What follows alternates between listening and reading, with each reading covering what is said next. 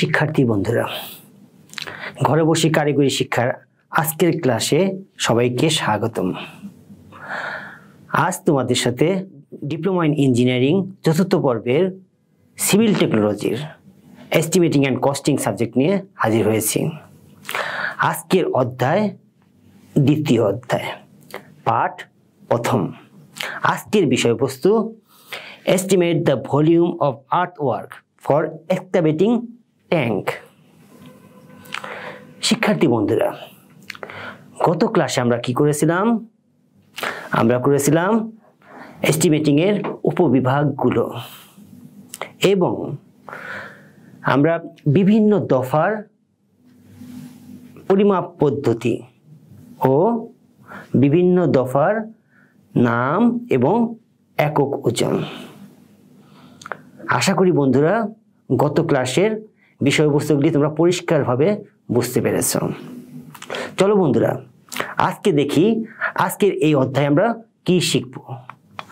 এই অধ্যায় শেষে আমরা শিখব, পুকুর খননে মাটি কাজের সূত্রগুলো বর্ণনা করতে পারব। পুকুর খননে সূত্রগুলোর মাধ্যমে কাজের পরিমাণ তুলনা করতে পারবে। অর্থাৎ আমরা যখন পুকুর কাটতে যাই, আমরা কি কি সূত্রের মাধ্যমে পুকুরের মাটি কাটি। এবং এই যে বিভিন্ন সূত্র অ্যাপ্লাই করি, এর ফলে বিভিন্ন সূত্রের মান কিন্তু বিভিন্ন হবে। তাহলে বন্ধুরা, এখান থেকে বুঝতে পারব কি, কোন সূত্রের মাধ্যমে আমরা অ্যাকুরেট ওয়েতে কাজ করতে পারব। চলো বন্ধুরা, এই পর্যায়ে আমরা দেখি পুকুর খননে মাটি কাটার কাজের সূত্রগুলি। সূত্র দেখার আগে আমরা একটা পুকুর এবং তার ক্রস সেকশন দেখার চেষ্টা করি। দেখো বন্ধুরা, এখানে প্রথম চিত্রে দেয়া আছে একটা পুকুর। এই পুকুরে কি আছে? আমরা এখান থেকে দেখতে পাই একটা লম লেন্থ আছে বা দৈর্ঘ্য, একটা পোস্ত আছে। পাশাপাশি একটা ডেপথ আছে এবং একটা পার্শ্ব ঢাল আছে, কারণ পুকুর সবসময় একটা ঢালে থাকে। যখন আমরা ঢাল থাকে আমরা ধরে নিব এই ঢালটা একবারে একই মাপের আছে, একই ঢালে আছে সেই হিসাবে আমরা পরিমাপ করব। তাহলে বন্ধুরা, আমরা দ্বিতীয় চিত্রে দেখতে পাচ্ছি এই পুকুরে একটি থ্রি ডাইমেনশন চিত্র, যার লেন্থ বেদ এবং হাইট দেওয়া আছে এখান থেকে আমরা পরিষ্কারভাবে বুঝতে পারতেছি যে এই পুকুরের উপরের যে সারফেস এবং নিচের যে সারফেস এই দুটি সারফেস এক নাই। অর্থাৎ উপরের সারফেসটা একটু বেশি আছে এবং নিচের সারফেসটা একটু ছোট আছে। তাহলে বন্ধুরা, আমরা কীভাবে এই বিষয়গুলি পরিমাপ করি? আমরা যখন কাজ করতে যাই পুকুরের যে কোনো একটি সারফেসের মাপ দেওয়া থাকে। অর্থাৎ যদি থাকে উপরিপৃষ্ঠের মাপ, সেখানে দেওয়া থাকবে লেন্থ এবং ব্রেথ আবার অনেক সময় নিচের পোস্তের মাপও দেওয়া থাকতে পারে। তাহলে বন্ধুরা, আমরা যে মাপি পাই, সেখান থেকে আমরা কীভাবে অন্যান্য মাপগুলি বের করতে পারি, বিষয়গুলি বোঝার চেষ্টা করব। তাহলে বন্ধুরা এই পর্যায়ে আমরা সরাসরি চলে যাই একটি পরবর্তী স্লাইডে। আমরা পুকুর খননের জন্য তিনটা সূত্র অ্যাপ্লাই করব। তিনটা সূত্র কি? প্রথম সূত্র মধ্য প্রস্তুষেদ সূত্র। বা মিড সেকশনাল ফর্মুলা দুই নম্বর সূত্র, গড় প্রস্তুষেদ সূত্র বা মিন সেকশনাল ফর্মুলা বা অ্যাভারেজ মেথডও বলা যায়। তিন নাম্বারটা প্রিজময়েডাল সূত্র বা প্রিজময়েডাল ফর্মুলা এই যে তিনটা সূত্র দ্বারা আমরা পরিমাপ বের করি, এর থেকে আমরা মাটি কাটার পরিমাণ নির্ণয় করতে পারি। তাহলে বন্ধুরা, তোমাদের মধ্যে নিশ্চয় কোশ্চেন জেগেছে যে কেন আমরা তিনটা সূত্রের মাধ্যমে প্রয়োগ করব। দেখো বন্ধুরা, আমরা তিনটা সূত্রের মাধ্যমে পরিমাপ বের করব এবং কোনটা যথাযথ সেটা যাচাই করব। কারণ প্রতিটা মাপই ঠিক আছে বাট আমরা সবচেয়ে গ্রহণযোগ্য কোনটা সেটা নিরূপণ করব। চলো বন্ধুরা, আমরা পরবর্তী স্লাইডে দেখি। এখানে একটি ছবি পুকুরের প্লান এবং লং সেকশন ও ক্রস সেকশন দেখা যাচ্ছে। তোমরা কি বুঝতে পারতেছো? দেখো বন্ধুরা, আমরা একদিক আছে লেন্থ আই দিক আছে ব্রেথ আমি লম্বা বরাবর যখন আমি কাটতে যাই, তখন কি লং সেকশনটা উপরের দিকে দেখতে পাচ্ছি। পাশাপাশি ক্রস সেকশনটা বাম দিকে দেখতে পাচ্ছি। এই যে লং সেকশন এবং ক্রস সেকশন এখান থেকে আমরা কি পাচ্ছি? আমরা উপরি পৃষ্ঠের লেন্থ দেয়া আছে এবং উপরি পৃষ্ঠের বেদ বি দেয়া আছে। তাহলে এল এবং বি দেয়া আছে। এখান থেকে আমাকে নিচের পৃষ্ঠের ক্ষেত্রফল নিরূপণ করতে হবে। আমি যখন নিচের পৃষ্ঠের ক্ষেত্রফল নির্ণয় করতে যাব স্বাভাবিকভাবেই উপরি পৃষ্ঠে থেকে নিচের পৃষ্ঠের মাপ কম হবে। তার আমরা একটু দেখি কতটুকু কম হবে। দেখো বন্ধুরা, এই কর্নারে একটা পার্শ্ব ঢাল। এই ঢালের জন্য আমার কোথায় সমস্যাগুলি হচ্ছে সেটা আইডেন্টিফাই করি। দেখো, এই পার্শ্ব ঢালে এই চিত্রের মাধ্যমে বোঝার চেষ্টা করি। এখানে কি আছে? ডেপথ আছে, পুকুরের গভীরতা। পাশাপাশি পার্শ্ব ঢাল এস ইস টু ওয়ান দেয়া আছে। এই যে এস মানে স্লোপ আর ওয়ান ওয়ানের রেসপেক্টে মাপটা হবে। আমাদের যদি ডি ওয়ান হয়, তাহলে এস হবে কত? ওয়ান ইন্টু ওয়ান পাশাপাশি এই যে হরিজেন্টালটি যে ডিস্টেন্স সেটা ডিপেন্ড করে কার উপরে? ডেপথ এবং স্লোপের রেসপেক্টে যত ডেপ ডেপ থাকবে, তার সাথে কতটুকু স্লোপ তার উপর ডিপেন্ড করবে আমার হরিজেন্টাল মাপ বা এসডি তাহলে বন্ধুরা, আমরা এই ক্রস সেকশনে পরিষ্কারভাবে বুঝতে পারতেছি যে আমার যে নিচের পৃষ্ঠের যে মাপটা পাবো, সেই মাপটা কত?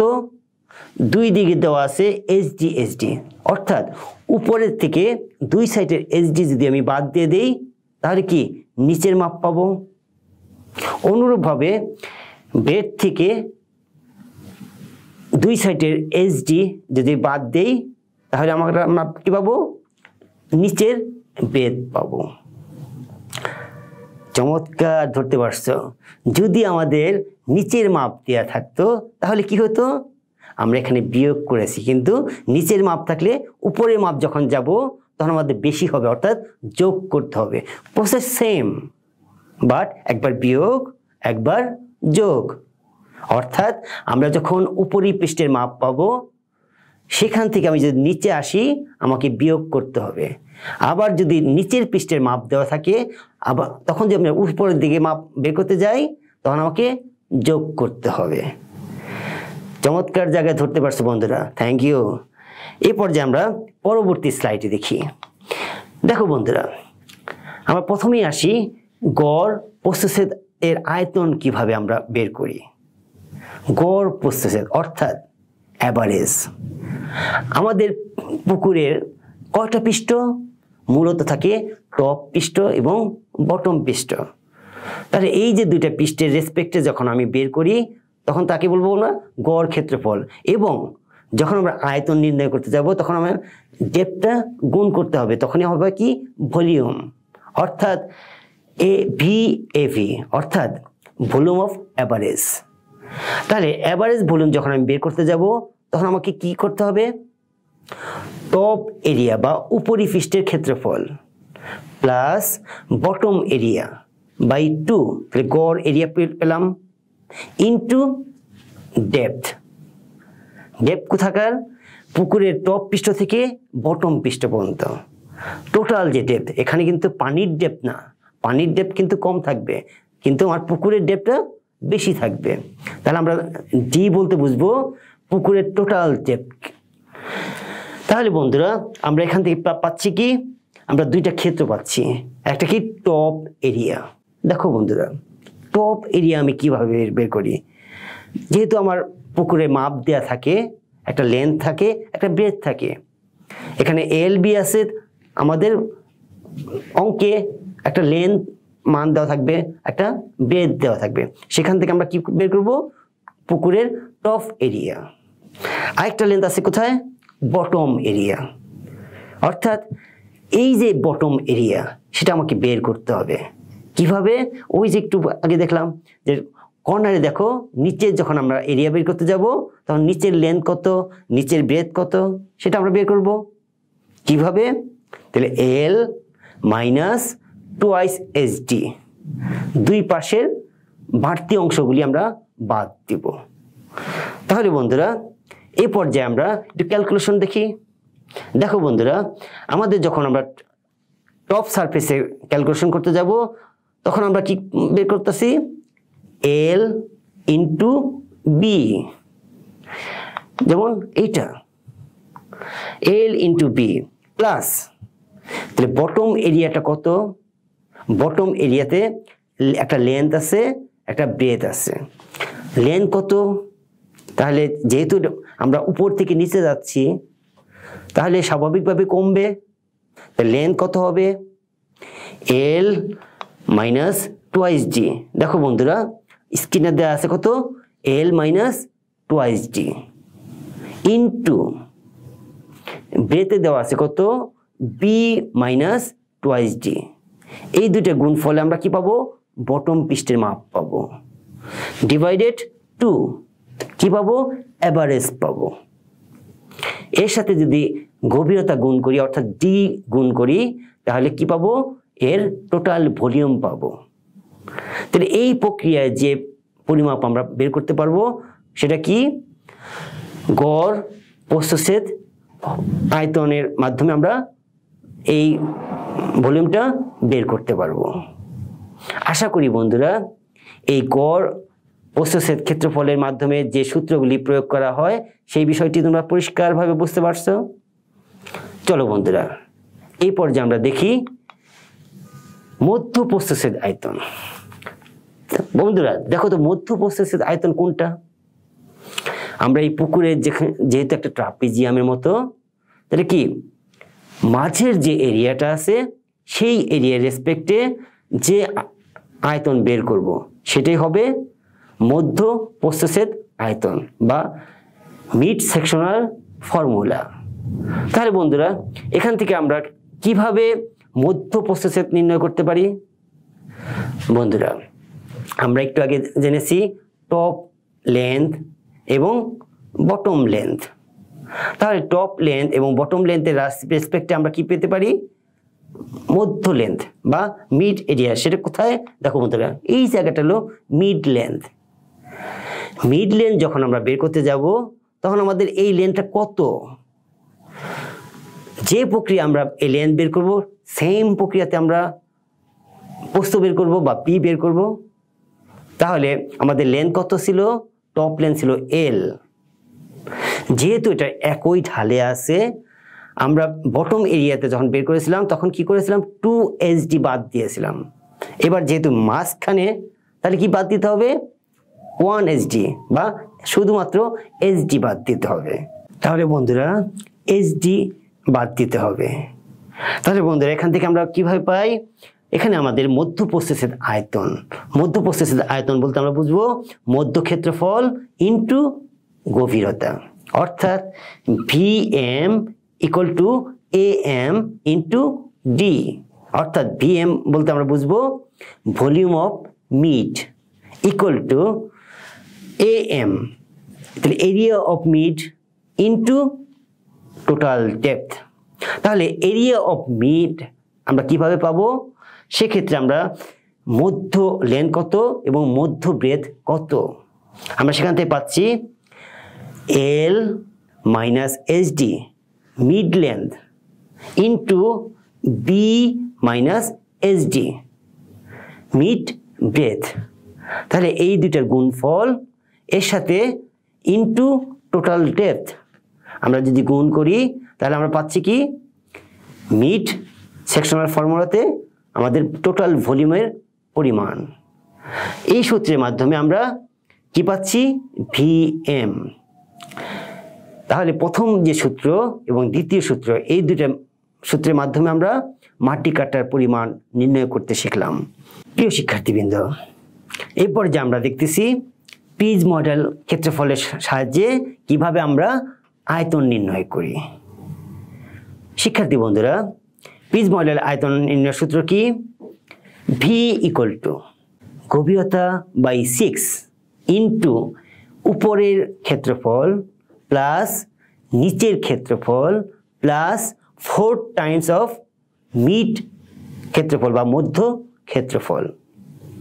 এখানে বন্ধুরা, তোমরা বিভিন্ন বইয়ে বিভিন্নভাবে দেখতে পাও। অর্থাৎ গভীরতার পরিবর্তে অনেক সময় ডি দেওয়া থাকে, অনেক সময় এইচ দেওয়া থাকে। সবগুলোই একই। তার মানে টোটাল ডেপথ গভীরতা। তাহলে বন্ধুরা, চলো দেখি আমাদের এই যে মিড এরিয়া তাহলে এখানে আমাদের তিনটা এরিয়া অর্থাৎ D by six into A one plus A two plus four times of A M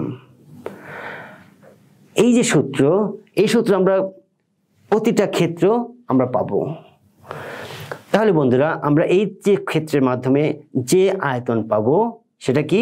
peas model formula চলো বন্ধুরা এই পর্যায়ে একটা সমা অঙ্কের মাধ্যমে বিষয়টি আরেকটু বোঝার চেষ্টা করি। বন্ধুরা, এই অঙ্কটা আমি পুরোপুরি করব না। আমি তোমাদের একটা টিপস দিব। এই অঙ্কটা তোমরা যদি করতে পারো, তাহলেই বুঝতে পারব যে আজকের এই ক্লাসটি আমার সার্থকতা হয়েছে। অর্থাৎ, এখানে অঙ্কটা দেখো। এখানে বলা আছে কি, একটি পুকুরের নিচের তলার দৈর্ঘ্য ও প্রস্থ। যথাক্রমে আশি মিটার ও ষাট মিটার। পার্শ্ব ঢাল টু ইস টু ওয়ান এবং গভীরতা পাঁচ মিটার হলে মাটি খননের পরিমাণ বের করো। তোমরা কি বুঝতে পারতেছো কোথায় ডিফারেন্সটা আছে? আমরা যখন ক্যালকুলেশন শুরু করেছিলাম, আমাদের প্রথম মাপটা কোথায় ছিল? উপরি পৃষ্ঠের মাপ ছিল। যেটা ছিল কি? এল ইন্টু বি এ পর্যায়ে আমাদের আছে কি? পুকুরের তলার, নিচের তলার দৈর্ঘ্য, অর্থাৎ নিচের পৃষ্ঠের মাপ দেওয়া আছে। তাহলে এখানে আমাকে কি করতে হবে? আমরা আগে যখন নিচের দিকে আসছি, তখন কি? বিয়োগ করে আসছিলাম। আর এবার কি করতে হবে? আমাকে নিচের থেকে উপরের দিকে যেতে হবে। অর্থাৎ আমাকে ওই যে H D twice H D এগুলি যোগ করে আমাদের লেন্থ এবং বেথ নির্ণয় করতে হবে। তাহলে বন্ধুরা, বিষয়টি একটু বোঝার চেষ্টা করো। জিনিসটা কি খেয়াল করতে পেরেছ বন্ধুরা? কোথায়? আমাদের এখানে যোগ করতে হবে প্রতিটা লেন্থে যেহেতু আমরা নিচের থেকে উপরের দিকে যাচ্ছি।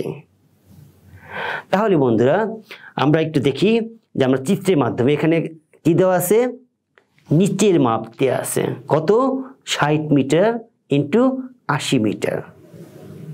তাহলে এখন যদি আমি টপ সারফেসটা নির্ণয় করতে যাই, তখন কি করব? আশি। টপের লেন্থ যদি আমি নির্ণয় করতে যাই, আমি পাবো কত? আশি metre plus twice D S কত? এখানে সাইড স্লোপ আছে কত? টু ইস টু ওয়ান, অর্থাৎ এস এর মান টু। ডির মান কত? গভীরতা দেওয়া আছে কত? ফাইভ মিটার, অর্থাৎ ডি মানে পাঁচ। তাহলে আশির সাথে আমরা কত যোগ করতেছি? টু এস ডি, অর্থাৎ two into two into five. তাহলে যোগ হচ্ছে কত? প্রায় বিশ। আশি প্লাস বিশ, একশো মিটার লেন্থ। বিষয়টি বুঝতে পারতেছো? বেদ কত? অনুরূপভাবে B plus twice D twice D মান কত? Two into two into five twenty plus sixty eighty metre তাহলে আমরা সহজেই পাচ্ছি কি? টপ লেন্থ এবং টপ ব্রেথ টপ লেন্থ কত? একশো মিটার টপ ব্রেথ কত? আশি মিটার। তাহলে বন্ধুরা, আশা করি এখান থেকে তোমরা বাদ বাকি কাজগুলি সহজেই করতে পারবে মিড লেন্থ বের করতে পারবে এবং তিনটা সূত্রের সমন্বয়ে আমাদের আজকের এই অঙ্কটা তোমরা করতে পারবে। বিষয়টি বারবার দেখবা এবং প্র্যাকটিস করার চেষ্টা করবা। যদি তুমি প্র্যাকটিস করে সফল হও, তাহলেই আমি বুঝব যে তোমরা আজকের এই ক্লাসটে অত্যন্ত মনোযোগী ছিলা। তাহলে বন্ধুরা, চলো দেখি আজকের এই অধ্যায় শেষে আমরা কি শিখলাম। আমরা শিখলাম পুকুর খননে মাটির কাজের সূত্রগুলি ব্যাখ্যা করা। দুই, পুকুর খননের সূত্রগুলির মাধ্যমে বিভিন্ন পরিমাপগুলির তুলনা করা। তাহলে বন্ধুরা আজকে তোমাদের একটি বাড়ির কাজ। বাড়ির কাজটি কি?